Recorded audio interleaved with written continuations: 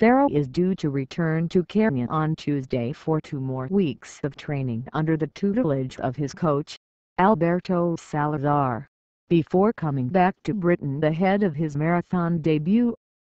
The Somalian-born 30-year-old was strong enough to pass and hold off third-placed Stephen Sambu from Kenya in a sprint to finish behind winner Geoffrey Mutai of Kenya in 61 minutes 8 SECs.